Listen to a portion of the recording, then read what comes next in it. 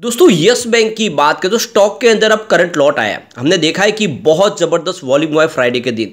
काफ़ी दिनों के बाद वॉल्यूम में जो उछाल है, वो इशारा कर रहा है कि अब यस बैंक दौड़ने को तैयार है। और क्यों ना दौड़े? फंडामेंटली कंपनी बहुत मज़बूत हो चुकी है। आप ये देख ही सकते हो, एक के बाद एक रिज़ल्ट बहुत ही बेहतर आ रहे लगातार अगर आप देखें तो एनपीए से बाहर हो चुके हैं और एनपीए की रिकवरी भी हो रही है, क्योंकि अभी पैसे आने बाकी है, ये आपको पता ही होगा कि सिर्फ़ फिफ्टीन परसेंट जो रकम है अपफ्रंट में मिली है, बाकी रकम तो बाकी है।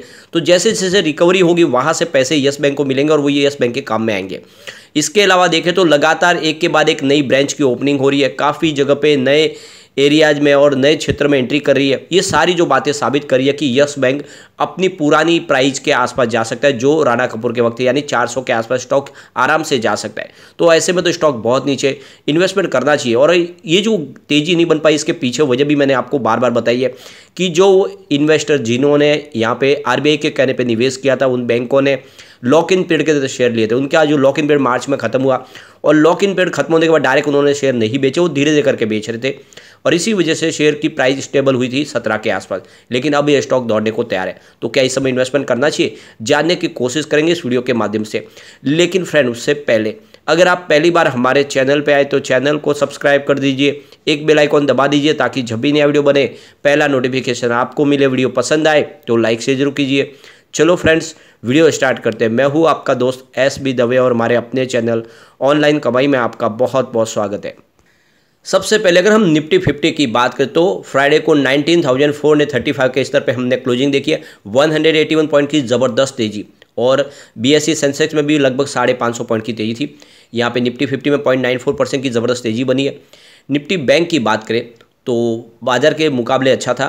Forty four thousand four hundred thirty six के स्तर पे four hundred forty six point की बम्पर तेज़ी, यानी one point zero two percent दौड़ा Nifty bank. Nifty PSU bank की बात करें तो यहाँ पे तेज़ी और शानदार थी।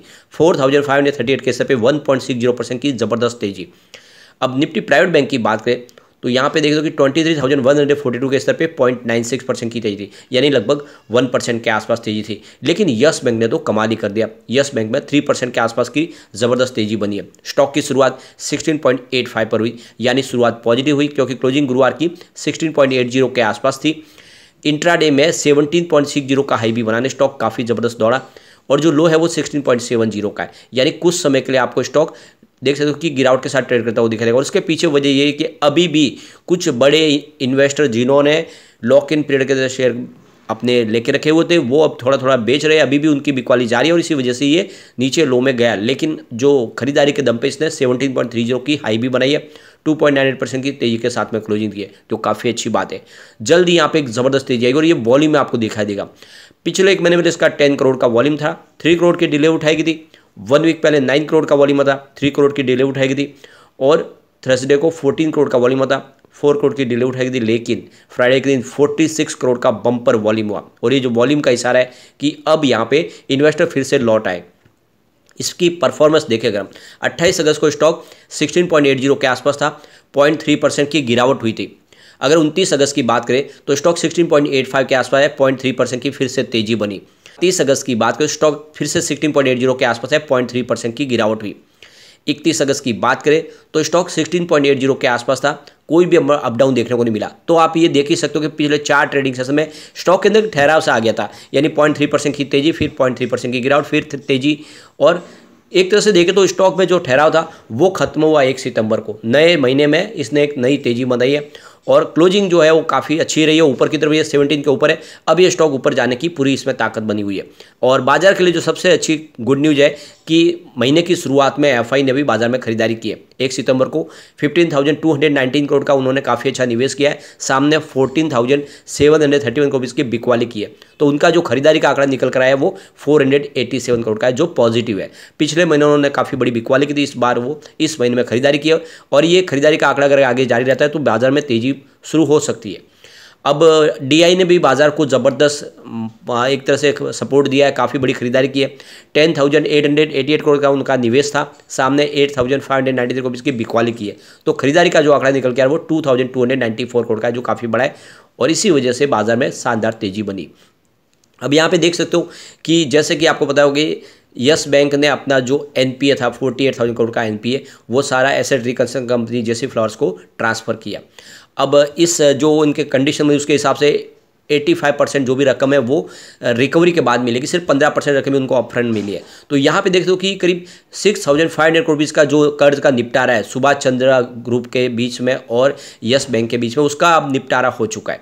तो यहाँ पे देखते हो कि अब ये जो लेटेस्ट अपडेट निकल के आ रही है कि ये जो निपटारा है, इसको 75 परसेंट कर्ज को कम करके निपटारा किया गया है। यानी 1500 करोड़ में ये सेटलमेंट किया है। तो आप देख दो कि डिश टीवी का ये जो पूरा मामला था ये ये काफ़ी समय से देखे तो एक तरह से ये पेंडिंग चल रहा था, लेकिन अब इसका निपटारा कर दिया गया। जैसे फ्लावर्स और यस बैंक और सुभाष चंद्रा के बीच में जो बातचीत हुई, इस मीटिंग के दौरान जो अंत में जो फाइनल फैसला हुआ उसमें, ये पूरा का पूरा जो छः हज़ार पाँच सौ करोड़ का कर्ज था, उसको पंद्रह सौ में सेटलमेंट कर दिया गया है।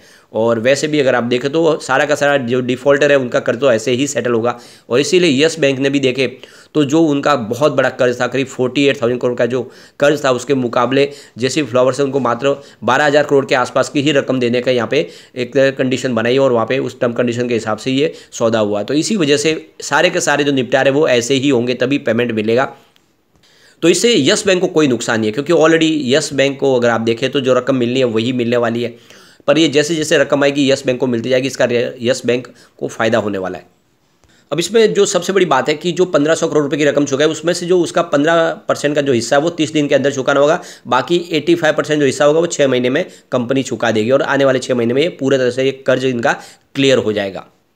अब जैसे कि आपको पता डिश टीवी में इनकी ऑलरेडी 25 परसेंट की हिस्सेदारी है, वो तब तक बनी रहेगी जब तक पूरा पेमेंट फाइनल न किया जाए। जब तक पेमेंट नहीं होगा, तब तक कंपनी में हिस्सेदारी बनी रहेगी और उनका दखल चलेगा इसके अंदर।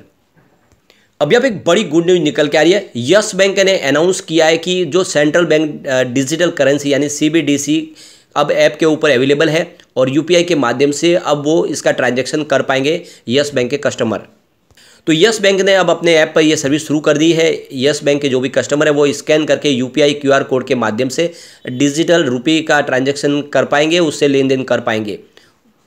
तो यस बैंक ने सीबीडीसी को यूपीआई क्यूआर कोड के साथ में एक तरह से मर्ज कर दिया है। उसके लिए सारी के सारी उस प्लेटफॉर्म को अवेलेबल कर दिया, जिससे क्यूआर कोड के माध्यम से यूपीआई के माध्यम से सीबीडीसी की जो भी ट्रांजेक्शन है वो हो पाएगी। और अब डिजिटल करेंसी का जो कारोबार है वो तेज़ी से आगे बढ़ेगा। इंडिया की जो डिजिटल करेंसी है, अब वो आगे जाके हर तरह से व्यवहारिक रूप से काम में आनी शुरू हो जाएगी।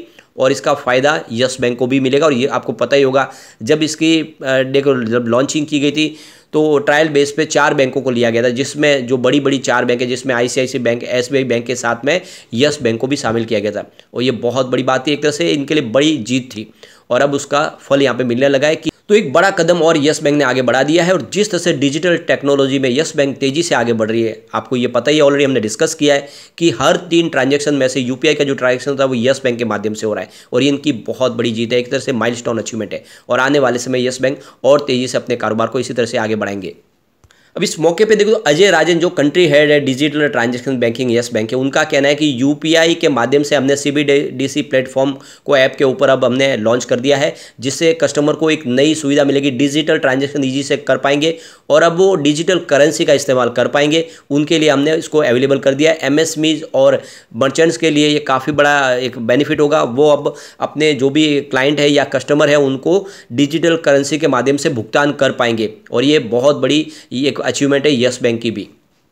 अब आप देखते हो कि रिकॉर्ड तोड़ वॉल्यूम हुआ है फ्राइडे के दिन। यस बैंक वॉल्यूम के मामले में नंबर दो पे था वोडाफोन के बाद में। ये आप देख सकते हो, काफ़ी दिन के बाद हमें देखने को मिला है।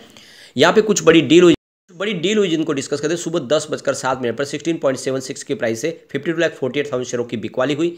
उसके बाद ग्यारह बजकर उन्नीस मिनट पर सेवनटीन पॉइंट ज़ीरो फाइव की प्राइस से सिक्सटी लाख फोर्टी थाउज़ेंड शेयरों की एक बिकवाली और हुई। ये साबित करती है कि अभी भी कुछ बड़े बैंक जिन्होंने लॉक इन पेड के तहत निवेश किया था, वो अभी यहाँ पे अपने प्रॉफिट बुकिंग अभी भी कर रहे हैं। फिर बारह बजकर सोलह मिनट पर सेवनटीन पॉइंट फोर ज़ीरो की प्राइस से यहाँ पे देख सकते हो कि forty six lakh fifty nine thousand शेयरों की एक बड़ी खरीदारी हुई।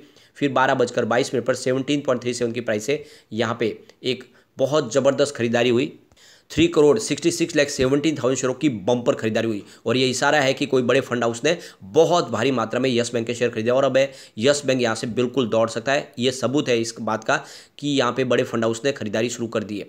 फिर बारह बजकर इकतीस मिनट पर सेवनटीन पॉइंट फाइव ज़ीरो की प्राइस से fifty three lakh sixteen thousand शेयरों की एक बड़ी खरीदारी और हुई। उसके बाद बारह बजकर अड़तीस मिनट पर सेवनटीन पॉइंट फाइव फाइव की प्राइस से forty one lakh sixty six thousand शेयरों की फिर से एक प्रॉफिट बुकिंग हुई। फिर उसके बाद दो बजकर इक्यावन मिनट पर सेवेंटीन पॉइंट थ्री ज़ीरो की प्राइस से forty two lakh seventy eight thousand शेयरों की एक बिकवाली और हुई। उसके बाद दो बजकर तिरपन मिनट पर सेवनटीन पॉइंट फोर फाइव की प्राइस से यहाँ पे seventy one lakh fifteen thousand शेयरों की बम्पर खरीदारी हुई। तो उसके बाद तीन बजकर अट्ठाईस मिनट पर सेवनटीन पॉइंट थ्री ज़ीरो की प्राइस से यहाँ पे forty three lakh eighty nine thousand शेयरों की फिर से बिकवाली हुई। तो अभी भी कुछ बड़े फंड हाउस की बिकवाली जारी है, लेकिन जिस तरह से खरीदारी शुरू हुई है, करोड़ों शेयर साथ में खरीदे गए, वो इशारा है कि स्टॉक अब यहाँ पे दौड़ेगा। तो लॉन्ग टर्म का नज़रिया लेकर निवेश करें। आने वाले समय स्टॉक हो सकता है कि अपनी पुरानी हाई तोड़ के एक नई हाई बनाने, यानी कि प्राइस थी वो फोर के आसपास थी। तो फिर से आने वाले समय फोर को ही आराम से क्रॉस कर सकता है या उससे ऊपर भी जा सकता है। तो लॉन्ग टर्म इन्वेस्टर इस समय निवेश कर सकते हैं। लेकिन फ्रेंड कोई भी इन्वेस्टमेंट करने से पहले अपने फाइनेंसर एडवाइजर से बड़े ले ले या अपना खुद का रिसर्च करें, क्योंकि मैंने वीडियो आपके एजुकेशनल पर्पज के लिए ही बनाया वीडियो पसंद आए तो लाइक से जो कीजिए और चैनल को सब्सक्राइब कर दीजिए। Thank you friend